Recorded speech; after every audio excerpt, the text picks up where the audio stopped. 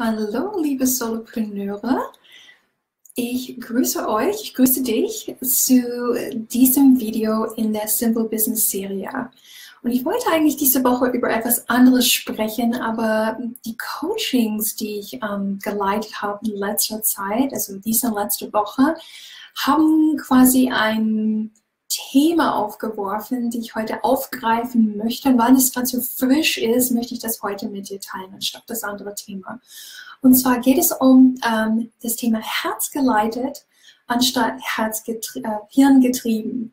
Und zwar, ich war gerade heute in der Successful Solopreneur System Gruppe von denjenigen, die gerade ähm, mein Successful Solopreneur System durcharbeiten gemeinsam. Also wo es darum geht, ähm, dass die Menschen lernen, ein Business aufzubauen, das sie lieben und von dem sie gut leben können. Und ich habe ähm, ein neues Wunschkundenprofil dort in der Gruppe gepostet.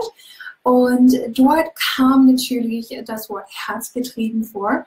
Und die Christine Gaser, die hat auf das Wort geschaut und sie hat gesagt, Shelley, ich wollte dir ähm, eine lange Zeit da sagen, dass das Wort mich irgendwie stört. Sie sagt, Schafe sind getrieben, ähm, dieser innere Antreiber treibt uns an, führt uns zum Hamsterrad. Sie hat gesagt, dafür stehst du nicht, sondern du stehst für das geleitet durch dein Herz dein Business machen, also geleitet durch deine innere Weisheit ein Business aufbauen, äh, was von innen nach außen äh, gemacht wird.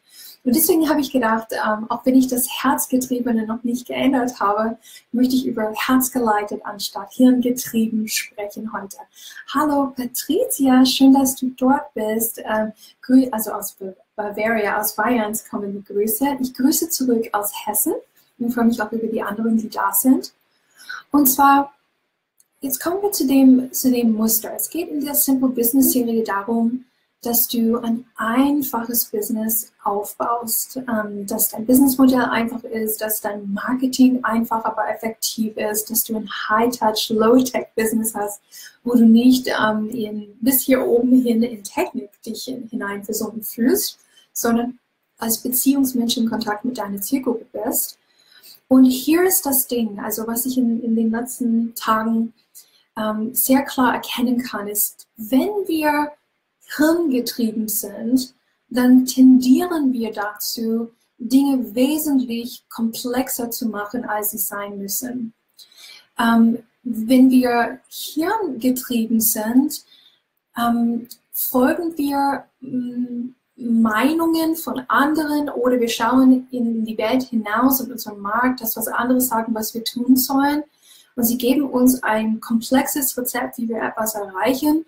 Und dieses Hirngetriebene sagt uns, ähm, das musst du machen, das musst du machen. Andere haben damit Erfolg gehabt und du beginnst quasi diese komplexe und mechanische Geschäftsaufbau zu verfolgen es ist wirklich sehr häufig im Außen getriggert und du hast das Gefühl im Innen, du musst das machen. Dein Verstand, dein Gehirn sagt dir, das wird vermutlich zum Erfolg führen.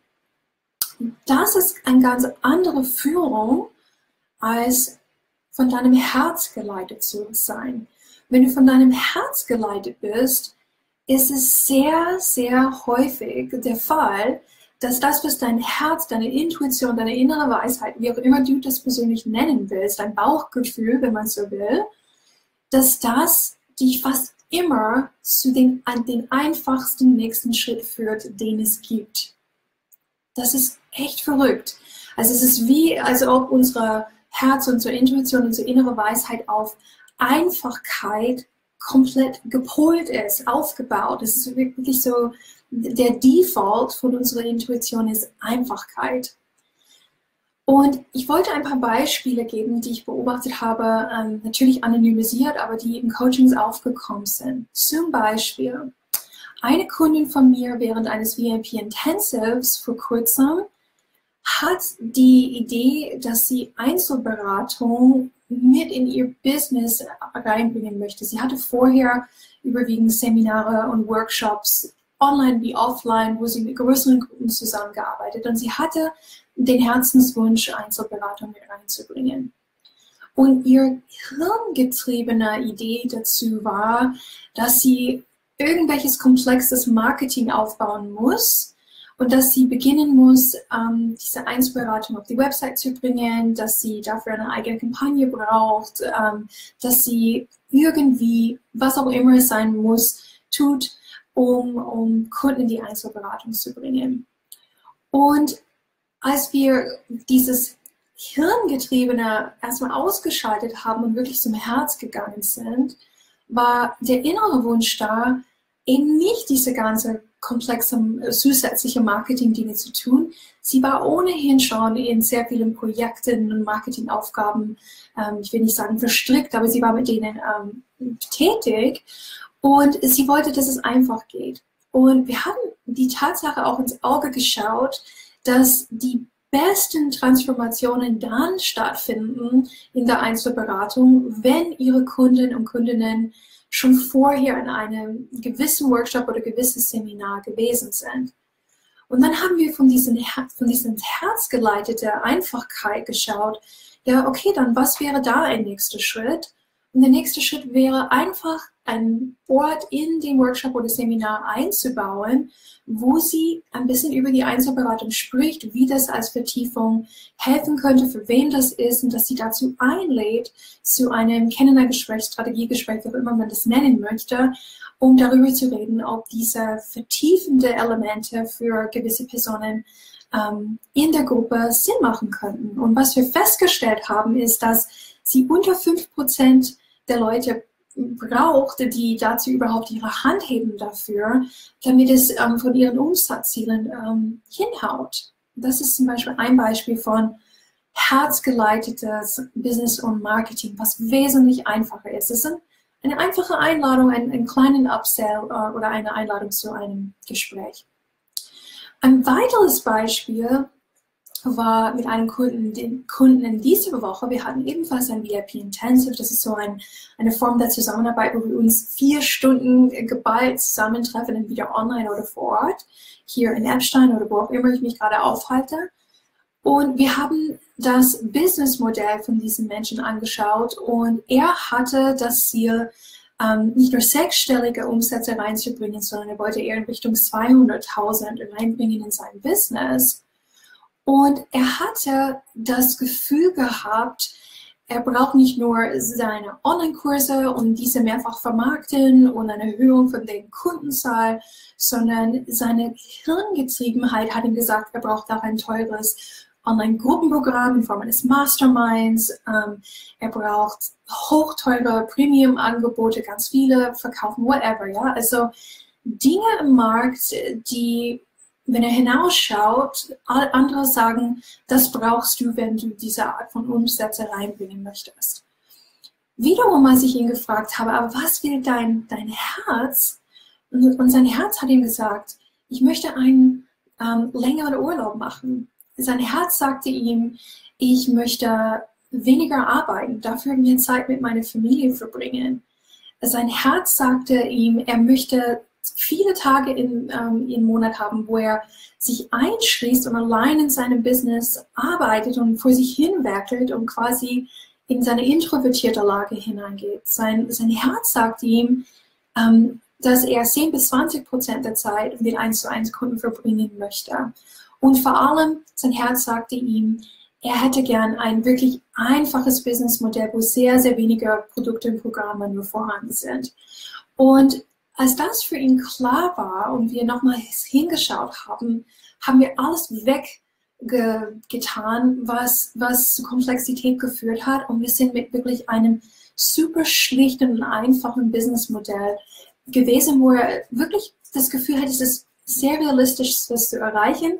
Er kriegt seine Herzenswünsche viel eher hin und es gab zwei Wachstumsbereiche, wo, wo er ich weiß, ob das eintritt, wie, wie er das haben wollte, aber plötzlich war in diese Umsatzziele, wenn er auf sein Herzgeleitetheit schaut, ähm, nicht mehr so wichtig, wie sie am Anfang erschien. Und das ist auch häufig der Fall, dass unsere Hirngetriebenheit uns ähm, auf wenige, eigentlich nicht wichtige Dinge fokussieren lässt, nämlich die Umsatzziele als solches. Okay, also, das, das sind so, so Dinge. Ich gebe euch ein letztes Beispiel und dann schließen wir ab von mir. Es ging um meine Facebook-Anzeigen und zwar meine Hirngetriebenheit sagte mir, ich müsste doch ähm, komplexe Funnel aufbauen mit meinen Facebook-Anzeigen, die ich demnächst vorhabe aufzubauen. Dass die eine zu einem Evergreen-Webinar führt, von dem Evergreen-Webinar zu meinem Shop, von dieser Shop-Landing-Page zum Kauf, von dort zum Upsell. Aber eigentlich habe ich gemerkt, wenn ich wirklich hinspüre, was mein Herz mir sagt, es ist wesentlich einfacher. Mein Herz sagt mir, tausend neue Kontakte, einfach Lead-Generierung, einfach, einfach dein Lead-Magnet an tausend neue tolle Kontakte führen, ohne diese komplexe Funnel, weil wenn sie schon bei mir an Bord sind, dann weiß ich, wie ich mit denen eine Beziehung aufbaue. Und ich brauche nicht diese ganzen mechanischen Dinge, wo mein Hirn glaubt, dass diese notwendig sind, sonst bin ich nicht sicher, sonst, sonst schaffe ich meine Ziele nicht. Denn die Hirngetriebenheit ist häufig wirklich eine Lage von unsicherem Denken, wo wir denken, wir brauchen diese Dinge, um uns abzusichern. Wir brauchen es für unsere Existenz, für unsere Umsatzziele, whatever, da zu stehen und so weiter. Das Herz wird nicht geführt oder geleitet über Ängste, über Sorgen, über Widerstand und all diese Dinge. Es ist ein, ein, ein, ein Hinzugefühl. Du wirst wie nach vorne gezogen, anstatt dass du pushen musst um dass das realisiert werden kann. Okay, so das war meine Predigt, meine Rede für heute, nämlich herzgeleitet zu sein, führt in der Regel zu Einfachkeit in deinem Business und Marketing. Hirngetrieben zu sein, führt häufig zu Komplexität, zu ähm, Ich muss Gefühlen, zu viel zu viele Aufgaben auf deinem Teller, die gar nicht notwendig sind. Also das nächste Mal, wenn du dabei bist, ähm, da zu schauen, von welcher Position aus führe ich mich selbst, von welcher Position aus führe ich mein Business gerade, ist es vom Herz oder ist es vom Hirn? Und mein Tipp wäre, fange mit dem Herz an. Dein Hirn reizt sich an, um den Rest ähm, auszudenken mit dir. So, das war's. Freue mich auf das nächste Video. Schöne Woche und bis sehr bald. Tschüss.